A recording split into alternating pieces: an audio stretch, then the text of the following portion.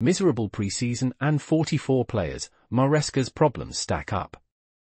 Chelsea's preseason has been disappointing with just one win from five friendlies in the USA, conceding 12 goals. Enzo Maresca faces challenges with a squad of 44 players, including reintegrating Enzo Fernandez and managing the potential exit of Conor Gallagher. The team is set to face Manchester City in their Premier League opener. Key decisions include the starting goalkeeper and addressing defensive issues. Maresca must also navigate the futures of players like Romelu Lukaku and Noni Madueke. Please subscribe to my channel.